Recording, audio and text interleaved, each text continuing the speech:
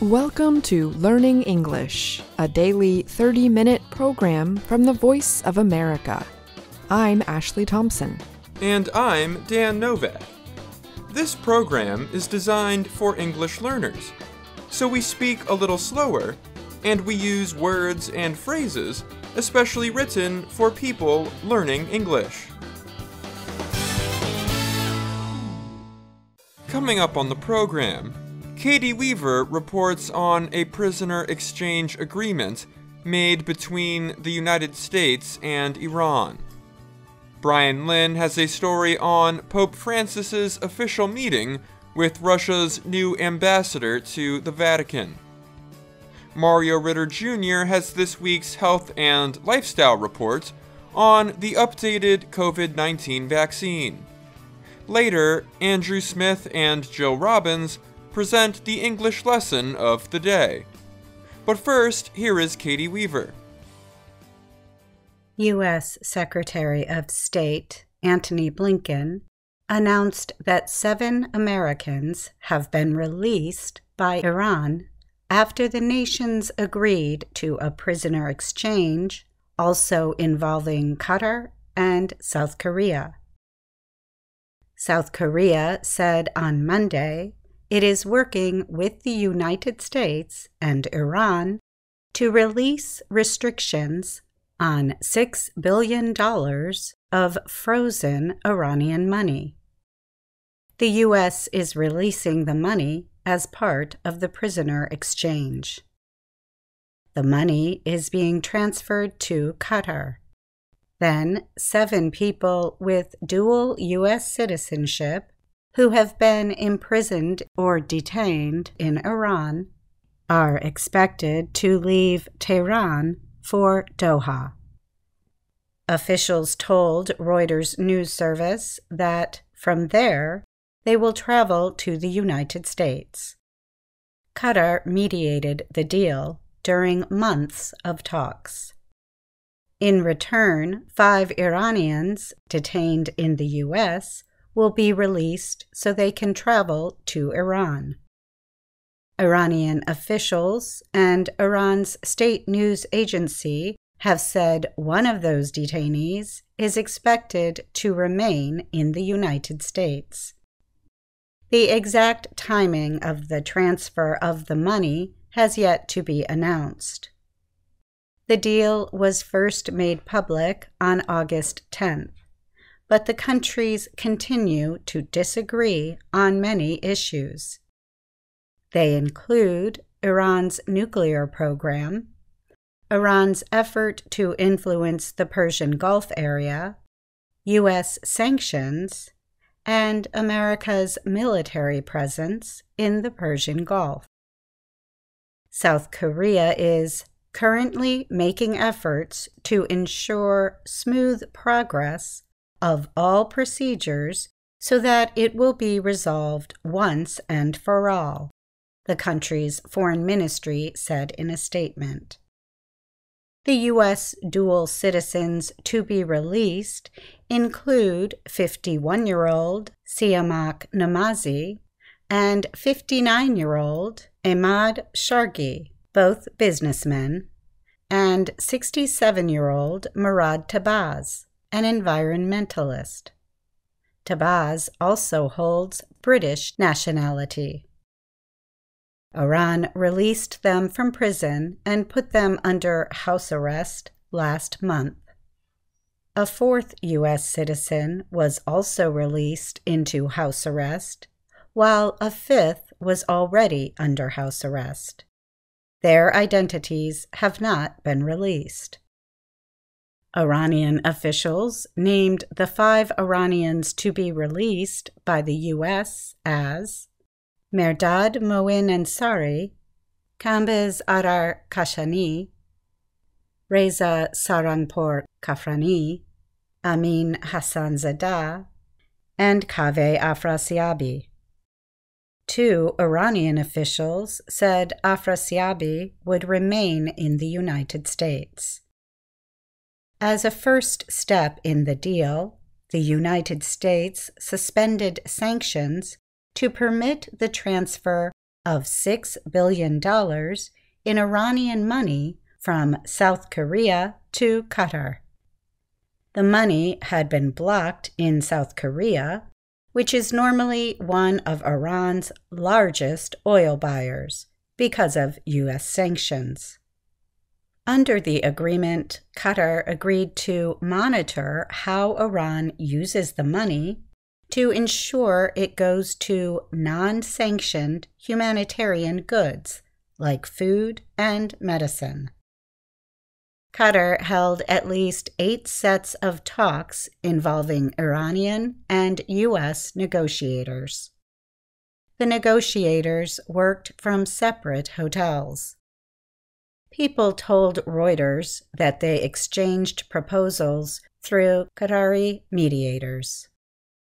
Earlier talks dealt mainly with the nuclear issue. Later, talks turned to the prisoner releases. I'm Caty Weaver.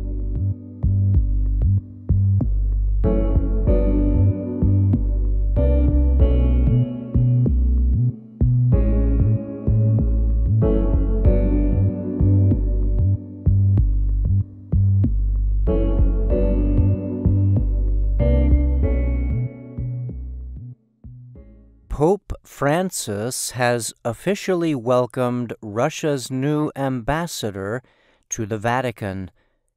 The leader of the Roman Catholic Church met with Ambassador Ivan Soltanovsky Monday in Vatican City as the diplomat presented his official documents. Soltanovsky is replacing Ambassador Alexander Avdeev Avdeev met with Francis in February 2022 at Russia's embassy in Rome, the day after Russian forces invaded Ukraine. Soltanovsky's visit came shortly after Russian Foreign Minister Sergei Lavrov said the government was ready to meet again with the Catholic Church's Ukraine peace envoy Cardinal Matteo Zuppi. The Vatican is continuing its efforts. The papal envoy will come back to Russia soon, Lavrov said last Friday.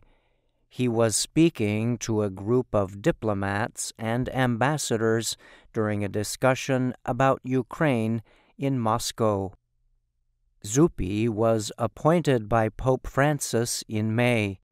Since then, he has visited the Ukrainian capital Kiev, as well as Moscow, Washington, D.C., and Beijing.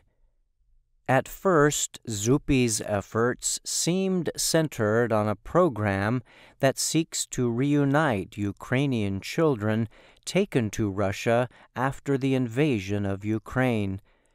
However, the diplomat also discussed restarting grain exports from Ukraine's Black Sea ports during talks with Chinese officials in Beijing.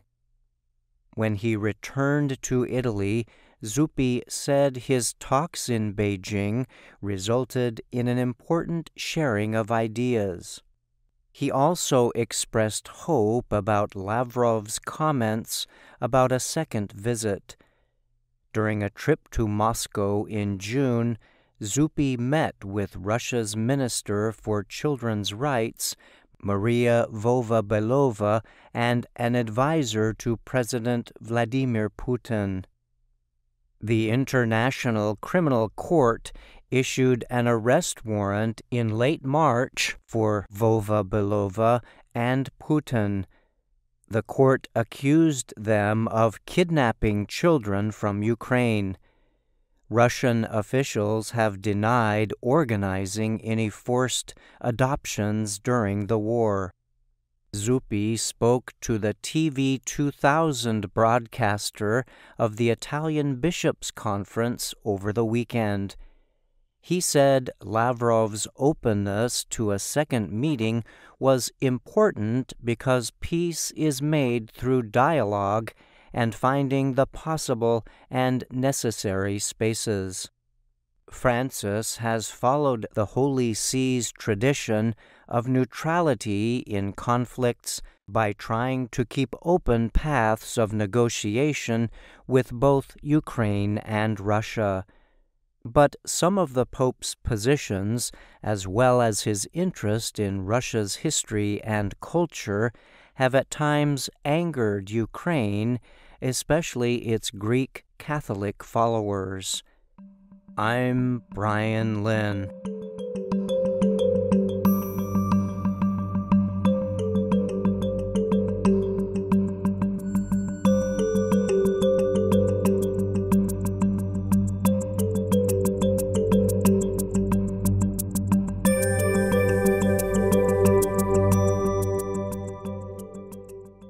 American health officials say most people should get the updated COVID 19 vaccine this year. Last week, the U.S. Centers for Disease Control and Prevention, CDC, approved the updated COVID 19 shots from Pfizer and its partner BioNTech, as well as from Moderna. A third vaccine from Novavax remains under study. U.S. health officials approved the shots for adults and children as young as six months old. They said starting at age five, most people can get a single shot even if they have never had a COVID 19 shot.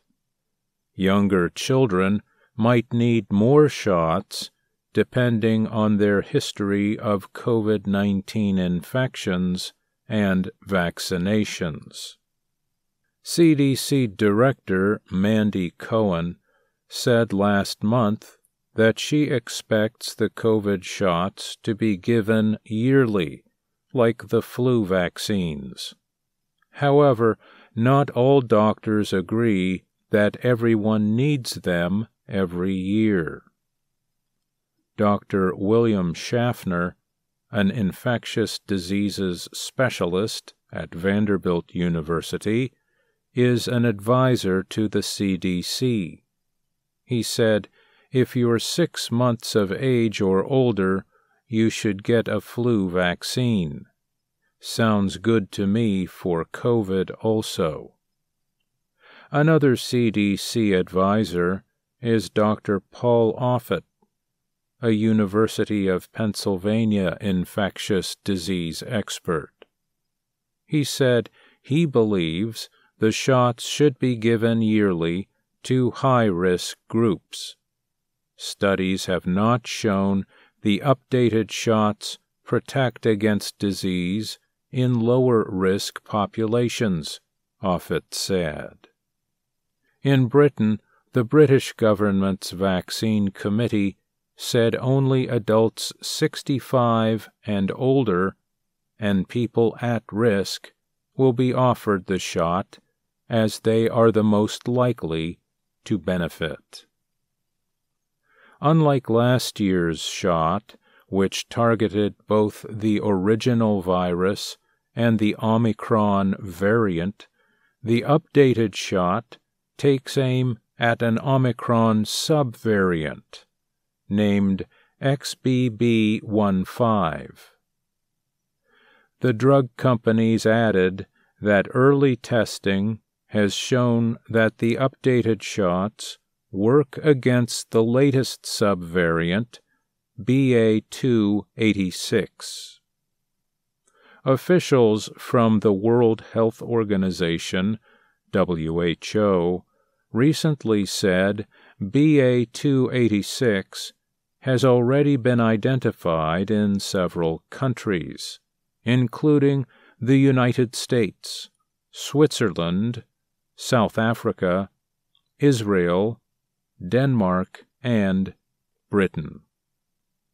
The severity of the COVID 19 pandemic has decreased but WHO Director General Tedros Adhanom Ghebreyesus said the new COVID 19 variants show that the virus remains a health threat around the world. The CDC said last month that only 42% of people said in a study that they would or probably would get the new vaccine. Yet only about 20% of American adults got an updated shot called a booster when it was offered a year ago. Doctors hope enough people will get vaccinated to help avoid another triple demic like last year. At that time, U.S. hospitals said they had to deal with an early flu season, a rise in respiratory syncytial virus, known as RSV, and another sudden increase in coronavirus cases. This year, hospitals in the U.S. reported a small increase in COVID 19 patients over the summer. But the number was much smaller than the year before. Officials said early vaccinations or infections have helped prevent severe disease and death. But most Americans have not had a vaccination in about a year. The CDC says that people can get a yearly flu shot and the updated COVID shot at the same time. The agency says there is no difference in effectiveness or side effects. I'm Mario Ritter Jr.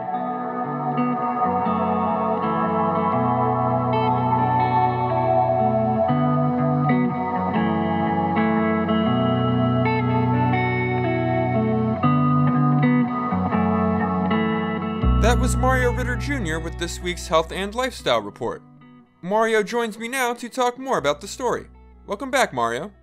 Nice to be here, Dan. It looks like the updated COVID 19 vaccines are going to be available, and that they target a new variant of the virus. One question was in the report, it said starting at age 5, most people can get a single shot even if they never had a COVID 19 shot. Could you explain why that is one of the directions given by health officials? Good question.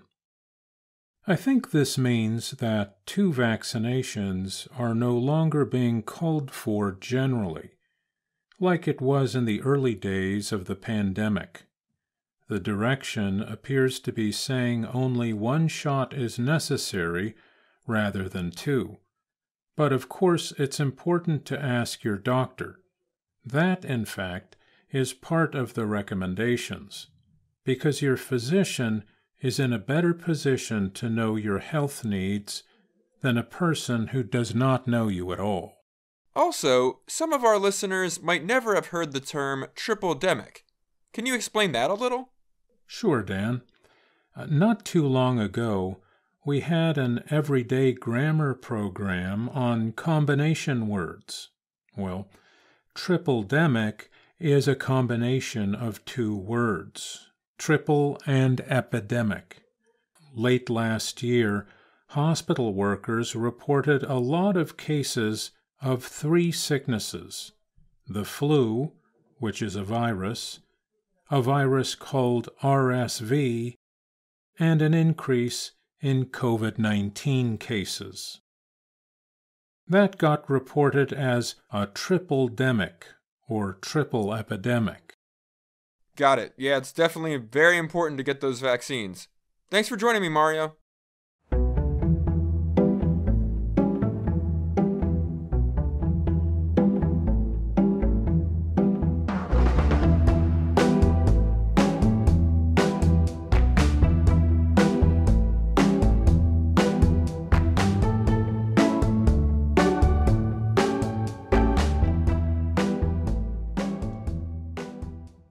Hello, my name is Anna Mateo. And my name is Andrew Smith. And I'm Jill Robbins. You're listening to the Learning English podcast. Welcome to the part of the show where we help you do more with our series, Let's Learn English. The series shows Anna Mateo in her work and life in Washington, D.C. The more you watch Let's Learn English, the more you will see that Anna is interested in many things. That's why Washington is a good place for her to live, because there are so many interesting things she can see and do.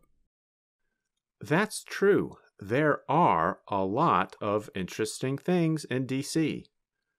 But Anna can still get bored from time to time, like in Lesson 13. Let's listen. Hello! In Washington, D.C., there are many things to do on a Sunday afternoon. I like to exercise, I like to shop, I like to garden. But today, I feel bored. When I feel bored, I always look for something unusual to do. Anna talks about feeling bored, but then she does find something interesting. She finds a birthday party for the famous English playwright William Shakespeare. There are many things to do in Washington, D.C. Some usual, some unusual. Today, I am not bored because it is William Shakespeare's birthday. Sometimes it's the unusual things in Washington that help make it interesting. That's right. Anna never stays bored for very long. And of course, if something is interesting, it's not going to be boring. And what's boring to one person might be interesting to another person. That's true. And I hope none of our listeners think our podcast is boring. How could that even be possible? But let's do this to keep our listeners interested.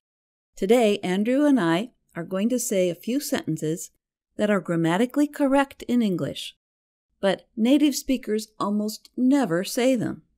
However, we have heard people learning English make a mistake by trying to say them. And we want you to try to answer this question Why don't native speakers say these things, even though there's nothing technically wrong with the grammar? See if you can spot the problem. Here are our examples. Example 1 I love watching Lionel Messi play soccer. When I watch his matches, I feel so exciting. Example 2 I am really boring in the afternoon when I am waiting for the bus. So, what was the problem with those sentences? If you said the problem was the ing endings on exciting and boring, you are correct. Now let's hear the correct version of the sentences. Example 1 I love watching Lionel Messi play soccer. When I watch his matches, I feel so excited. Example 2 I am really bored in the afternoon when I am waiting for the bus. Here's the key idea the ing ending refers to the source, the thing that makes or produces the feeling in the person. And the ed describes how you feel as a result of the source. In the two examples, the soccer matches and waiting for the bus are the source of the feelings. Right. So the match is exciting, but the person who watches is excited. And waiting for the bus is boring, but the person who waits feels bored. So if someone says, I feel so exciting, that means the person thinks they are making other people feel excited. Someone would only say that in special situations. So, a performer, like a famous singer, could actually say, I try to be an exciting performer, because it's their job to make other people enjoy their music or their shows. But that's a special situation because they are indeed the source of the excitement. The rest of the people, the people watching the show, feel excited. Now that you know that we use ing for what produces the feeling and ed for how people feel inside, we're going to use this in discussion. Jill, could you share an experience you've had that was very moving? I watched a performance this weekend that was called 200 Years of Soul Music, with a storyteller and musicians and singers moving from African drumming through spirituals to hip hop music. Through it all, the performers made a connection to African roots of the rhythms. I felt moved by the new understandings they opened up for the audience. I think our listeners can understand that a moving experience is one that has a big effect on our emotions or feelings. So that's why you said, I felt moved. Now, here's a question for you, Andrew. What for you would be an intimidating situation? And have you ever been in one? Hmm, that's a good question. Um, well, here's one that comes to mind. I've always wanted to learn how to surf. It looks like so much fun to ride the waves on the surfboard in the ocean. So I've tried it a few times. But I have to say, when you're in the water and you see a wave rise up like a wall that's about to break onto your head, it's intimidating. The ocean is powerful. So you felt intimidated? I did, but not too much. I kept trying. And did you ever stand up on the surfboard? You know, I went surfing once, and I thought just lying on the surfboard through a big wave was a big accomplishment. I, I, see what you mean. Um, I did stand up, but only on smaller waves that were not so intimidating. Intimidation is the noun form of this word.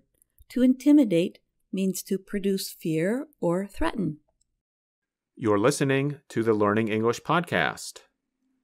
Jill, here's a question for you and our listeners about Anna. What word does she usually say when she is excited about something? Oh, that's an easy one. She says, awesome, when she sees something interesting or exciting. Let's listen. What is going on here? It's a big birthday party for the writer William Shakespeare. This is a party for William Shakespeare? Yes! Awesome! Awesome! It would be interesting to count the number of times she says that in the series. well, maybe I'll let you try that. but before we end today's podcast, let's read a little chant about the words bored and boring. Are you ready? Ready. Who's bored? I'm bored. You're bored. He's bored. She's bored. They're bored. In fact, we're all bored. Guess who's boring? I'm not boring. You're not boring. She's not boring. They're not boring. And we're not boring. I guess that means that nobody's boring. But I'm bored. You're boring? No, I said I'm bored. Well, then let's learn with VOA. They're not boring. All right. Jill, that was a fun chant you made. I'll bet it kept our listeners interested. I hope so. We don't want to be boring. No, we don't. But you know what? A little boredom is okay. Sometimes we just need to rest and do nothing. My cat is very good at that. Yes, cats are the champions when it comes to relaxation. So, whether you found our podcast interesting, boring, relaxing, or even confusing, thanks for listening to the Learning English podcast. I'm Andrew Smith. And I'm Jill Robbins. And that's our program for today. Join us again tomorrow to keep learning English through stories from around the world.